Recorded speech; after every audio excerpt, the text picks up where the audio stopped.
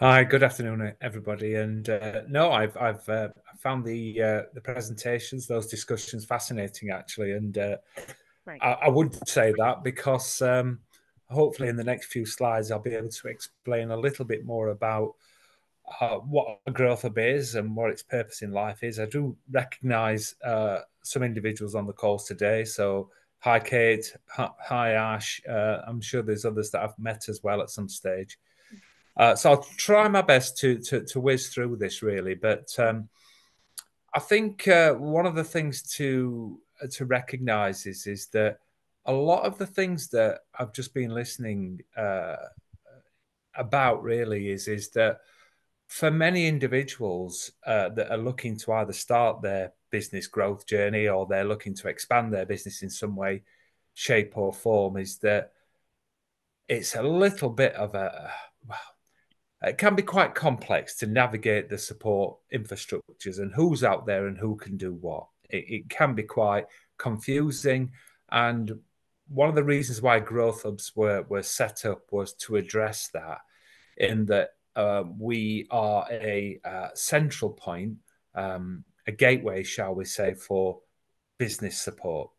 Uh, I say business support, uh, and I very much include social enterprises, CICs, sole traders, self-employed within that, uh, because um, you, you, everybody has to start somewhere, and we recognise that. And uh, what we try to do, as uh, this slide is uh, uh, is illustrating, there is um, is be that that that central point, but.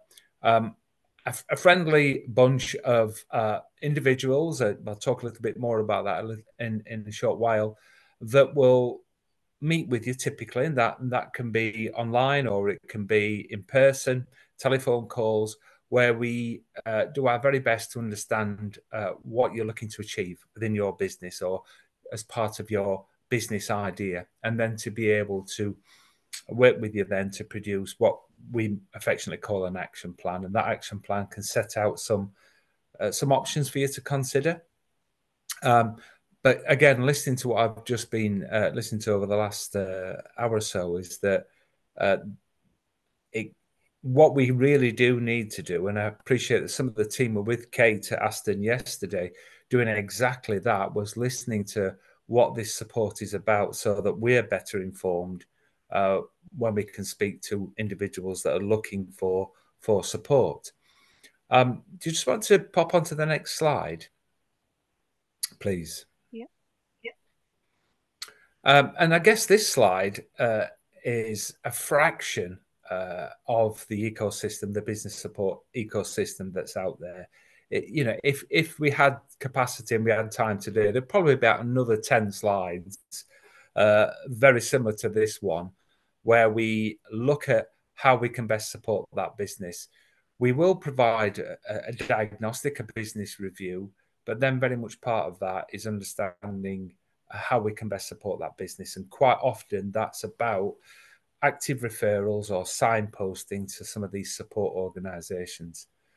What we have developed over um, over the years really is, is that we recognize that for certain sizes of business or sectors or stage of business growth that it can be quite advantageous to to have a, a diagnostic that lends itself to that particular uh, subject area, shall we say. So we we would always offer out a generic uh, review, a business idea uh, session, just to look at that. But what we then need to do really is is ask some questions that will help uh, ultimately um, ourselves and the uh, individual concerned, which is the which are the right kind of systems for them. So it's imperative that we keep up to date ourselves on on what's actually out there and what can support uh, businesses going forward. So, um, as I mentioned yesterday, we met with Aston, and that is because we we're not affiliated to anybody. We are we are our purpose is to work with you and to identify what is that the, the best way really that we can support you going forward.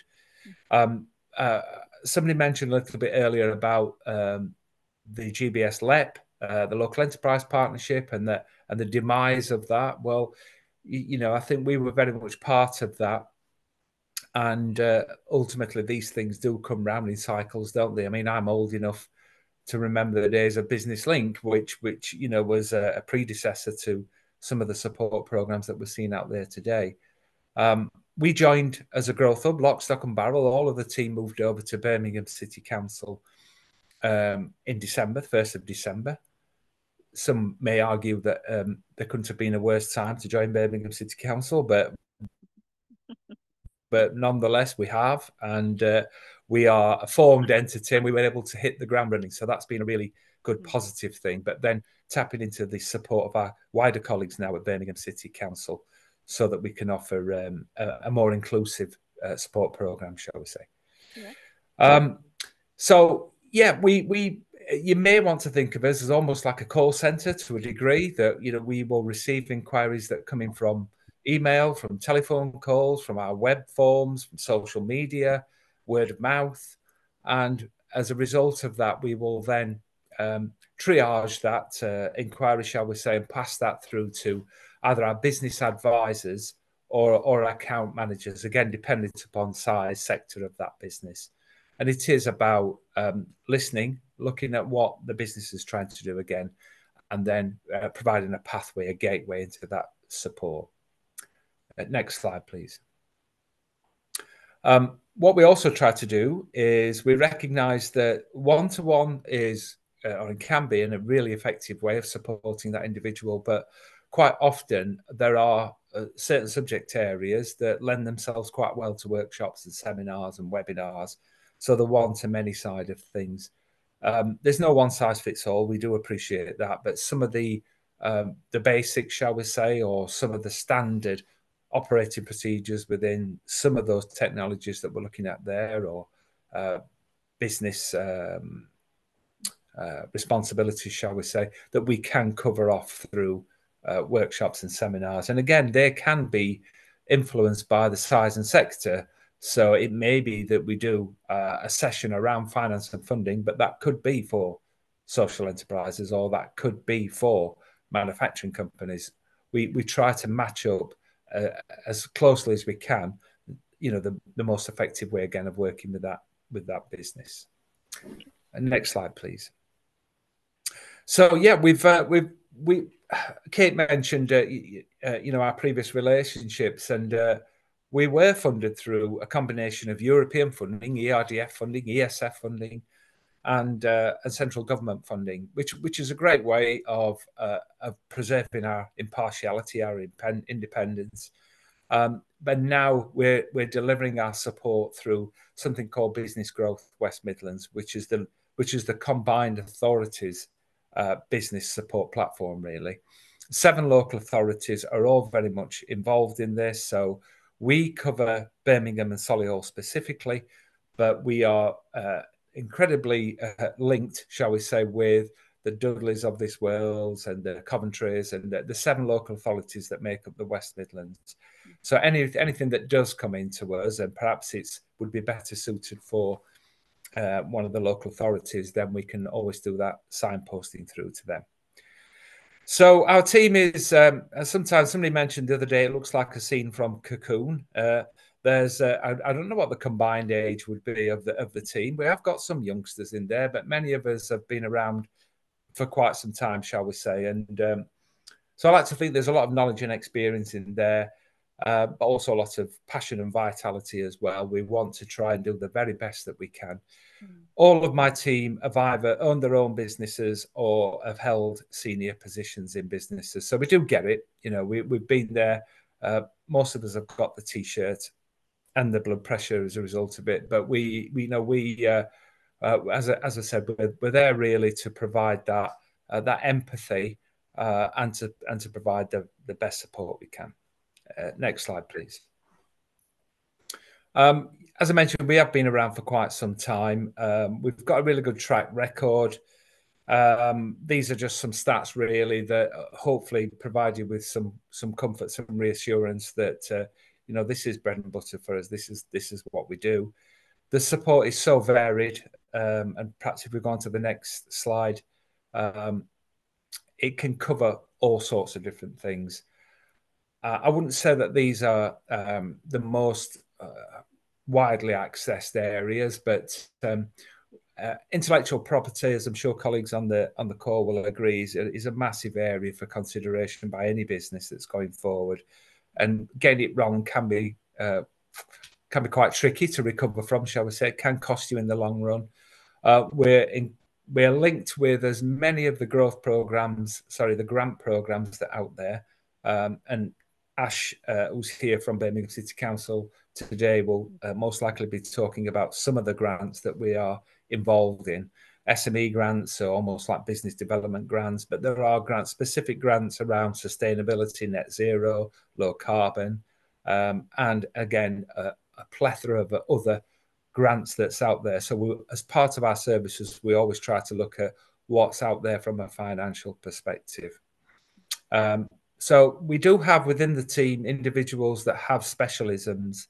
So that could be access to finance, it could be intellectual property, um, professional services, food and drink.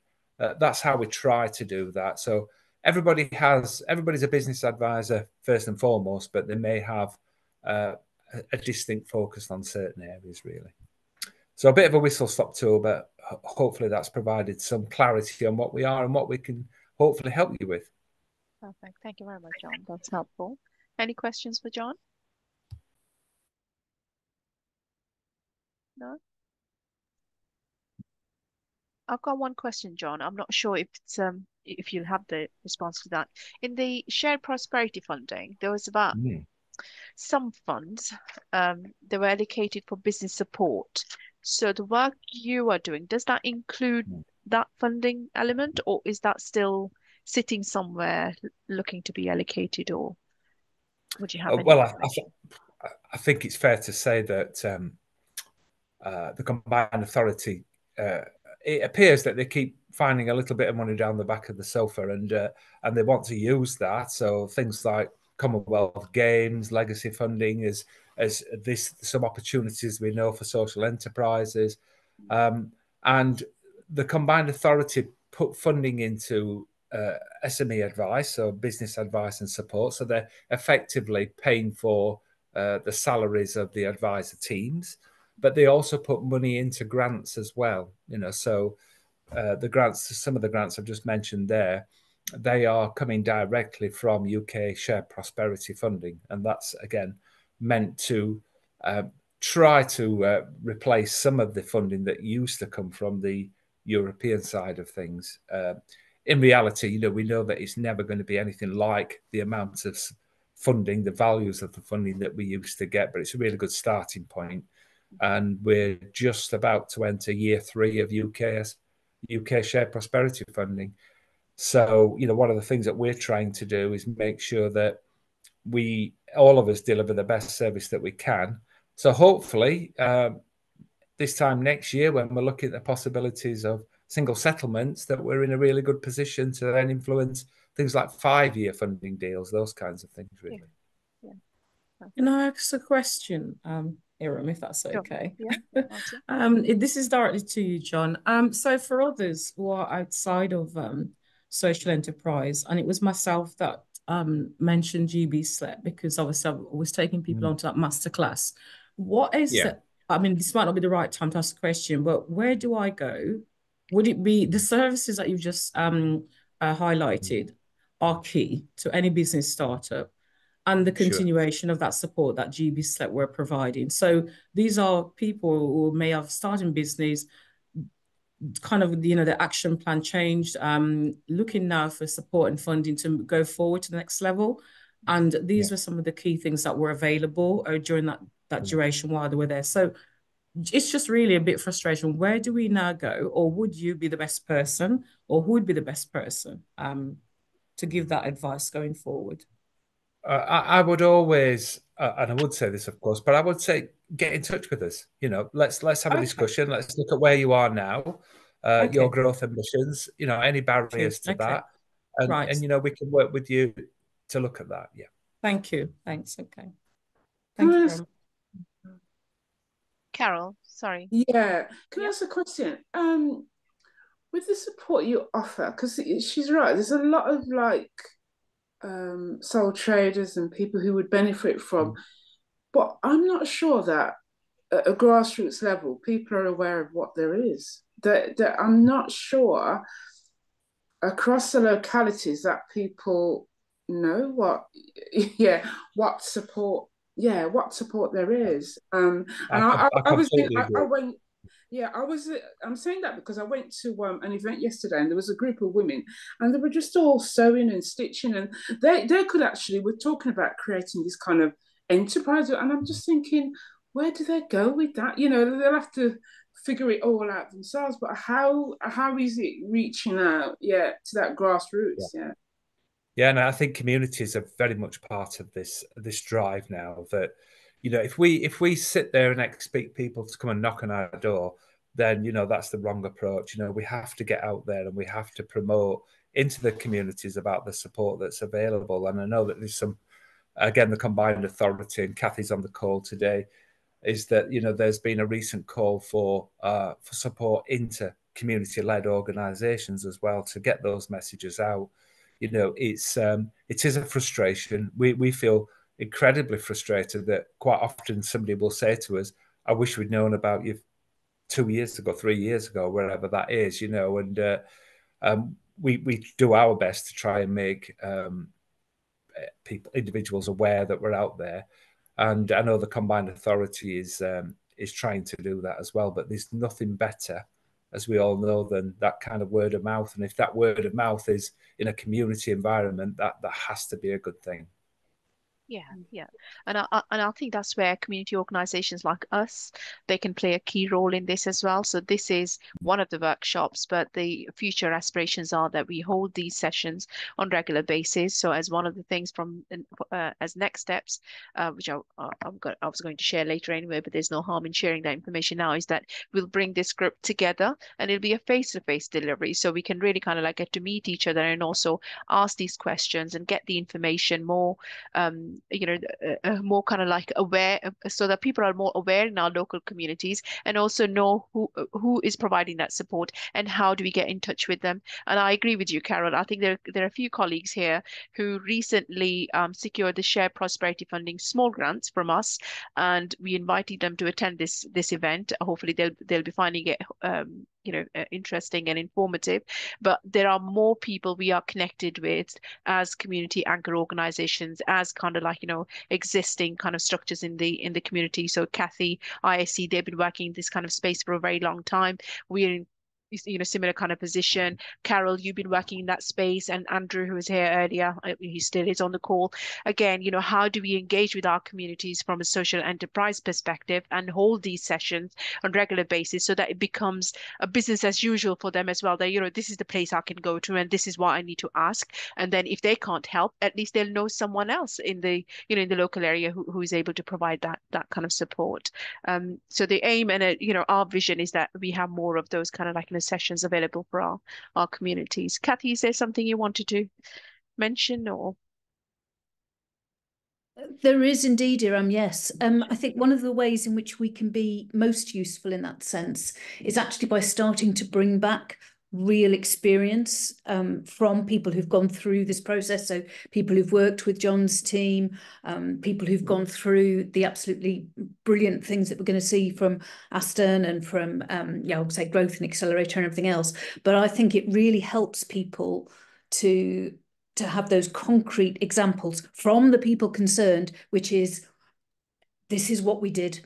You know, because sometimes, um, as Carol was saying, it's uh, people don't have a frame of reference to understand what they can do with this support. So it doesn't mean anything until we start to tell them those stories of, you know, this person went and had, you know, these sessions with Jon and then they were pointed at IP and they were pointed at this and they were pointed to that. And now six months later, look at where they are and look at where their turnover is. It, it's that type of story that we've got to get back into the community so people can go, oh, I could do that. Yeah, perfect. That is exactly, yeah. One more question directed to you, Jon. Um, are do we come to you or are you you and your team available to come to us? When i say us as in you talk about web networking and seminars and workshops? Mm-hmm. is that is that in... okay. Yeah. Yeah we have um uh, many of the team members will uh, will attend sessions like this so that they can give an overview themselves about what the support that's around there. Mm-hmm. Um, but we do uh, we do have uh, the ability to deliver sessions ourselves if we wanted to around a subject area. So again, okay. things like um, we have a female entrepreneurs program, we have uh, an access to finance program, but mm-hmm. we we're very much about pointing businesses in the direction of the likes of Aston or BCU or wherever that actually yes. is STEAMhouse. Yes. You know, that's that's very much part of our role as well, and to give people the options as well. You know, because it, again, we recognise that somebody may may just say to us, "Well, uh, yeah, it's two days. It sounds brilliant, but I just can't take that out of the business. I can't afford that time or whatever it is." Yes. Okay, well, yes. what about this particular way of, of looking at it? You know, so it's a little bit about trying to make it as bespoke as we can. The reason why I'm asking is because I'm not sure if you are aware of Witton Lodge's locations, but we do have a community hall, and that's where we hold a lot of our meetings and events. And I actually mm-hmm. organise jobs fairs uh, for the local community. And in that respect, there are a lot of self-employed or business starter or people engaging more frequently now with us. And I would like to use that space and obviously have someone like yourself or a team member to be present to do a delivery in that respect yeah. in specific areas could be intellectual property whatever but we would have that discussion and then i would then mm. arrange those meetings so it would be sure. using time effectively to deliver to yeah. people who are interested yeah okay that's fine the, the other thing i would mention as well is that you know the business growth west midlands the combined authority i've got a significant budget for event delivery. And quite often they're saying to us, can you come up with any, you know, uh, any subject areas? At what are the businesses, what are the communities telling you about what they would benefit from? You know, mm-hmm. so that there are. It doesn't have to be that you know we have online sessions if if if we feel as though there's sufficient interest and that there's mm-hmm. um, you know an opportunity to get in front of communities again as a businesses, then you know we can explore that with the combined authority directly. We've got Sarah. Sarah, sorry.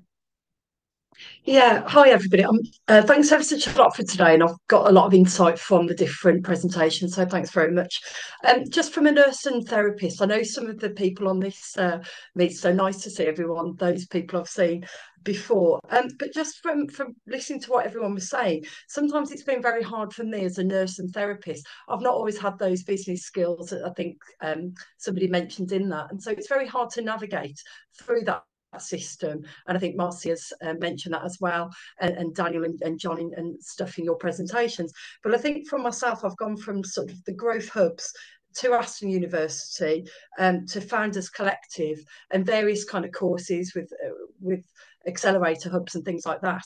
And sometimes they've not been appropriate for the time that I was in. They're probably appropriate now, but they wasn't appropriate at the time that I was navigating at that point. But I was signposted to those various things, thinking, oh, that'll be helpful. And so I think sometimes they weren't, they were helpful now and they will be helpful now. But I think it was quite difficult at the time to to navigate maybe what the right support at the right time, what actually was, if that makes any sense for my journey. And ultimately, I just want to help more young people and more families to be able to help and prevent poor mental health and, and to be, be able to network and collaborate with my local community um, to be able to have people that are having less than two years waiting lists, etc. So coming to a group that I run for mental health, which is proving to be an effective means, um, is, is enriching more people and then having one-to-ones with those after that, that program. So then it's it's more of um, a streamlined approach. Um, but I'm just kind of really wondering if we can all from this meeting today have a group meeting as a community because when I got my funding from ENNS which was amazing and it's really developed but that was from absolute sheer graft of networking on my part of so i'm just thinking if we can have a monthly kind of growth meeting where we can all share almost a directory and navigate this process a little bit easier. So that's just a, a point for, for me